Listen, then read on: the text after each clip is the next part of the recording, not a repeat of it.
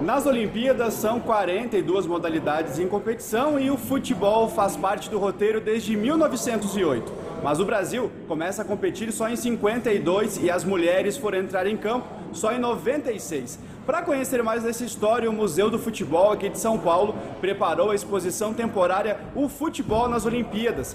Fica em cartaz até o dia 30 de dezembro. Pouca gente sabe, mas apesar do Brasil não ter nenhum ouro olímpico na modalidade, nós temos três pratas e dois bronzes no masculino e duas pratas no feminino. A exposição aqui tem filmes, reprodução de cartazes e nesses painéis aqui dá para conferir as curiosidades de cada edição dos jogos nessa parte colorida. E do outro lado, no fundo cinza, mais detalhes, dessa vez sobre o futebol em cada Olimpíada. O museu fica aqui no estádio do Pacaembu, em São Paulo, funciona de terça a domingo, o ingresso custa R$ 9,00 e a entrada é de graça aos sábados.